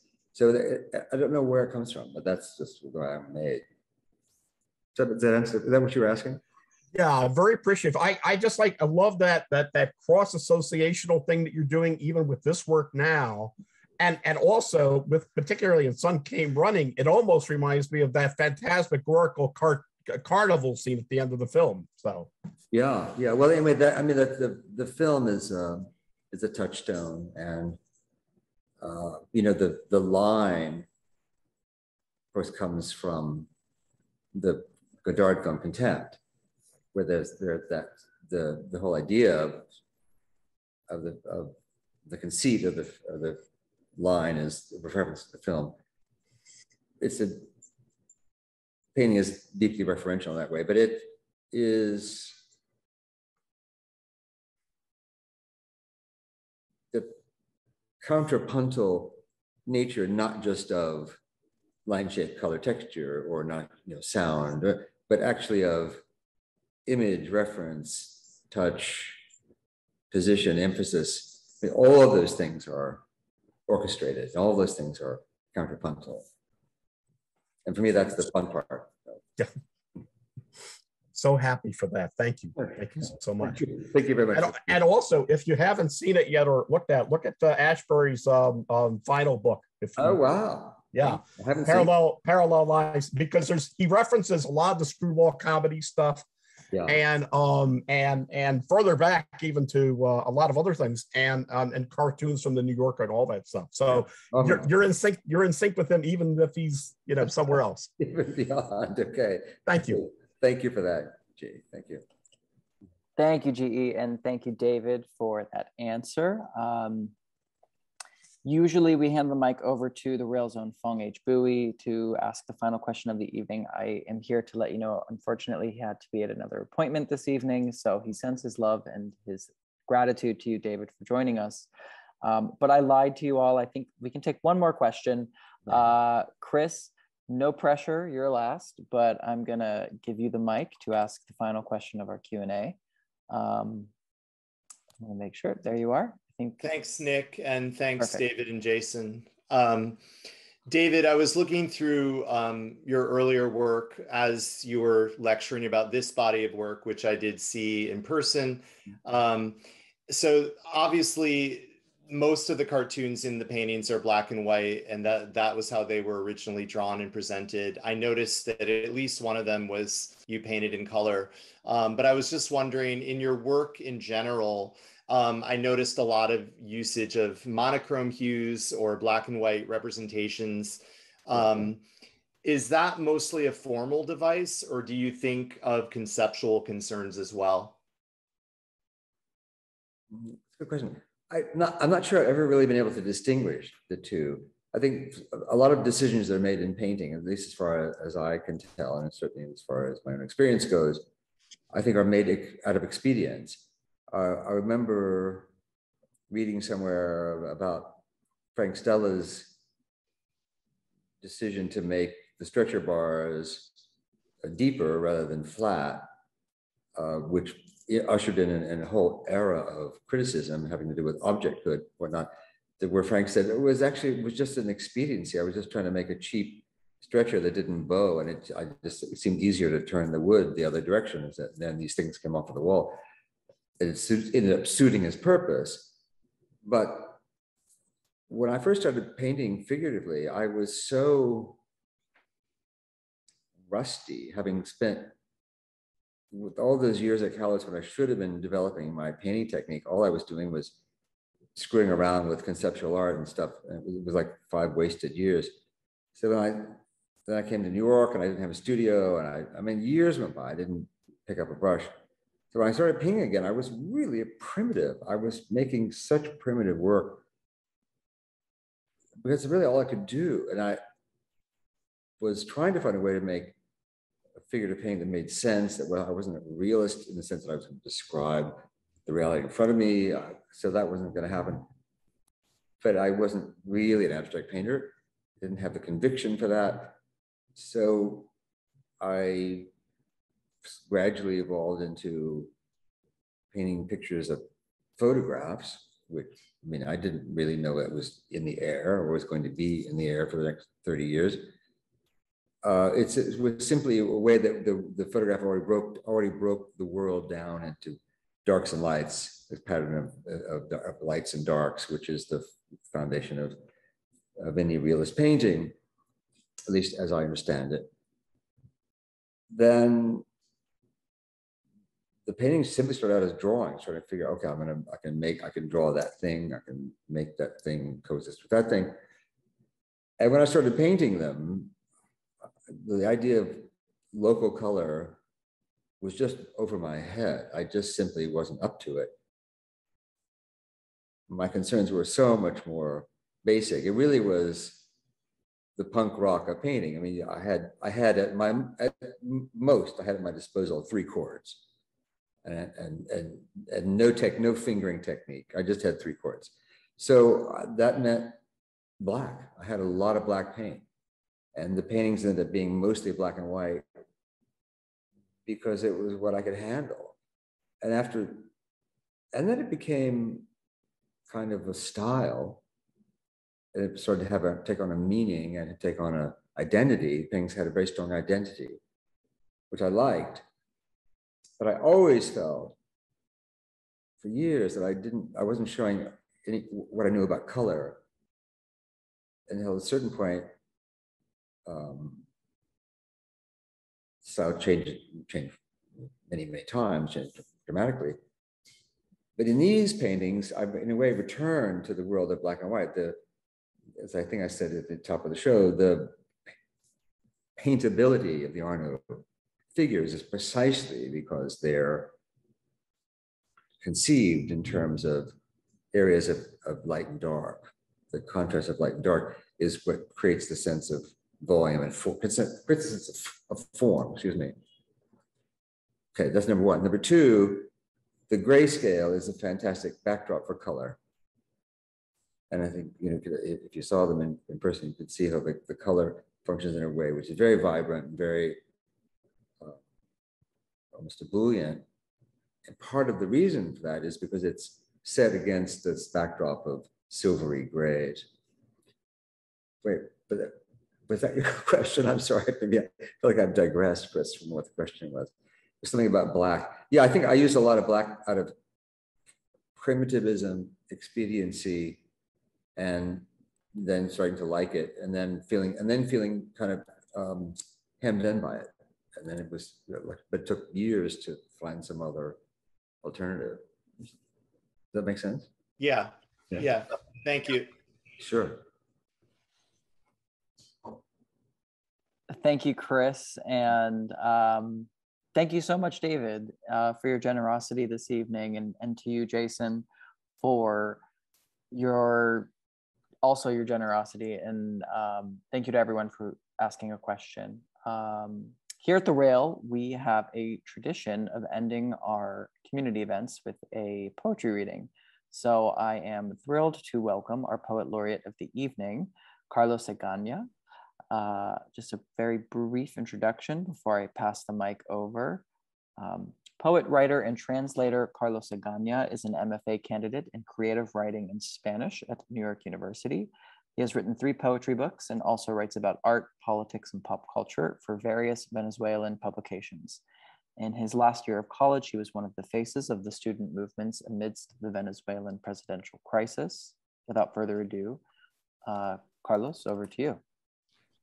Awesome. Thank you so much, Nick, uh, for introducing me. Um, well, screens tend to isolate us and turn our reflections into our soul companions. So it's nice to see that today screens are bridges between many. I'll read uh, three poems from my second book, Hacer Daño, first in Spanish and then in English, as translated by Rachel Whalen, a person whose existence I'm very thankful for. I hope they're having the time of their life in Mexico, where they now live. So I hope this is as interesting as I think it will be.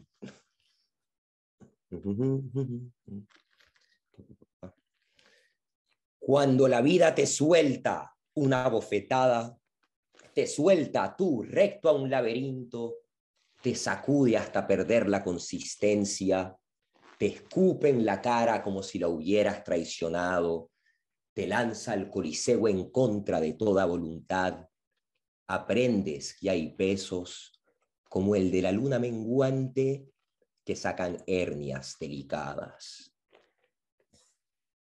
When life slaps you, lets loose on you, when it drops you straight into a maze, when it shakes you senseless, when it spits in your face as if you were a traitor, when it throws you into the Colosseum against all of your will, you learn that there are stones like the waning moon that remove frail hernias.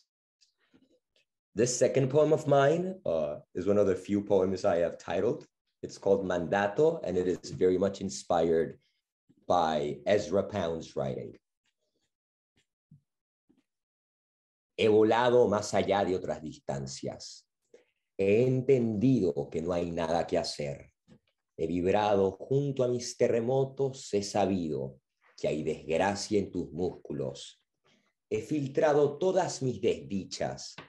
He sentido que camino solo hay uno repleto de espinas y miradas.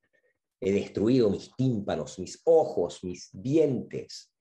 He rascado la costra más oculta y ocultado las costas más hermosas. He mentido con inmensas sonrisas. He viajado a corazones indeseados. He querido llorar pensando en ti. He situado y sitiado mis hábitos más destructivos y luego los he usado como definición.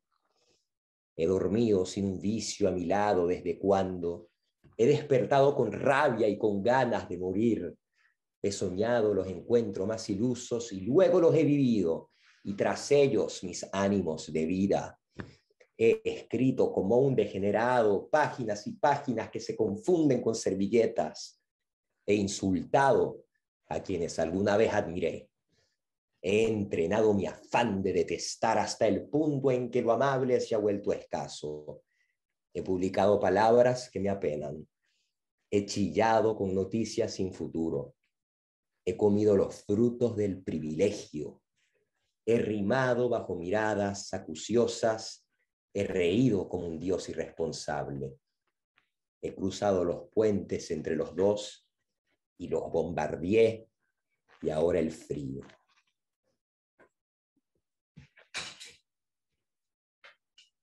I have flown beyond other expanses. I have understood that there is nothing to be done.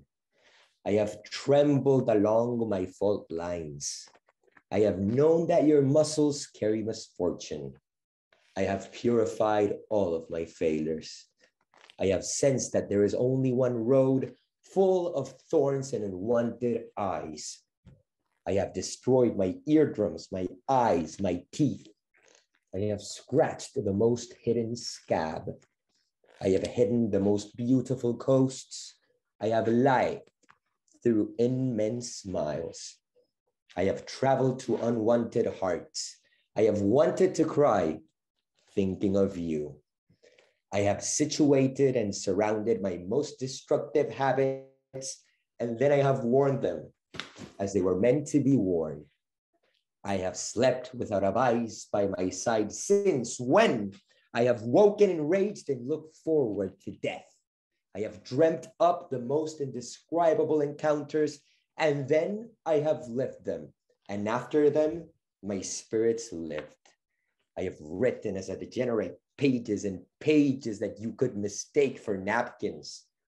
I have insulted those whom I once admired. I have taught myself how to hate until that which is lovable has become scarce. I have published words that I am ashamed of. I have bawled at the news of no future. I have eaten the fruits of privilege. I have rhymed beneath an urgent gaze. I have laughed like an irresponsible God. I have crossed the bridges between us two, and I bumped them. And now the cold. And uh, this last poem, uh, I'd like to dedicate to Ana Luisa. I hope we get to meet to meet each other again uh, sooner than later, I'd say. Si yo fuera un disco rayado, quisiera que cada pausa, cada repetición tuviese tus uñas como causa. Cuánto adoraría que me cogieses con rabia sin jabón en tus manos y ensuciaras mi faz más brillante. Si yo fuera disco rayado, si yo fuera una de las rayas, un solo así, yo te veré repetido hasta la insignificancia. Si yo fuera una voz tornada en ruido, Si yo fuera magia, vuelta, compresión, distorsión, atención a la radio, quita esa vaina, si yo fuera, y por ello no quisieras escucharme, me deslizaría hasta el suelo más transitado de tu casa para volverme huella y rompecabezas y no ser gozado por más nadie. If I were a broken record, I would want every pause, every repetition to be caused by your nails. How much I would adore it if you seized me with rage without soap on your hands and tarnished my most brilliant phase. If I were a broken record, if I were one of the scratches, and a través de mi persiana americana repeated to the point of insignificance, if I were a voice turned to pure noise, if I were magic turned into compression, distortion, attention to the radio, make it stop, if I were, and because of it, you didn't want to listen to me, I would slip towards the most worn down floor of your house to become footprint and riddle and to be enjoyed by no one else. Muchas gracias. Thank you very much. Thank you so, so much, Carlos. Um, thank you for joining us this evening and for concluding that our event so, so beautifully. Um, I once more want to thank you, David, and thank you, Jason. Um, I will post in the chat again uh, a link to David's show at Skarstedt. It is open until October 30th, and I encourage everyone that is able to make it to go uh, go and see the show. So uh, we are here every single day at 1 p.m. Uh, join us tomorrow for our 57th Radical Poetry reading, curated by Hoa Nguyen and featuring Bi Kinau, Diana Khoi Nguyen, Dao Strom, and Souvankham Thammavongsa. Apologies for mispronouncing most of those names. Hmm. Uh, you can now, everyone, turn on your microphones to say hello and goodbye and wish everyone a happy Tuesday evening. So thank you once again, David. And thank you all. It was really, it was a real pleasure. Thank you for organizing. Thanks for everyone's Thank attending. Thank you very much to everybody. Thanks, everyone. Thank you, Nick. Thank you for attending. Right. Great Carlos. Wonderful. Thank you, Carlos. Thank you, everyone. Bye. Bye. Bye. Thank you, Carlos. Yeah, thank you, David, for hanging out with us for so Thank you, long. David. We deeply appreciate Thank you. Thank you. See you guys To soon. Mary. Bye bye. Yeah, okay. Wow. Thanks. Bye, everybody. Bye. Have a Thank good you, evening, Chris, for that question. Yes, thank you. Thanks, Chris. guys. Thanks, GE. Oh, Thanks, Barry. bless. Thanks, everyone, for joining. Night swim. See you later. Night swim. And we will see you tomorrow. Okay. Bye. Take care. Bye, everyone.